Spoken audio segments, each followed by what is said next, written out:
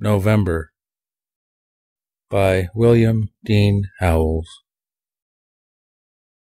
A weft of leafless spray, Woven fine against the gray Of the autumnal day, And blurred along those ghostly garden tops, Clusters of berries, crimson as the drops That my heart bleeds, when I remember How often, in how many a far November Of childhood and my children's childhood, I was glad, with the wild rapture of the fall, Of all the beauty, and of all the ruin, Now so intolerably sad.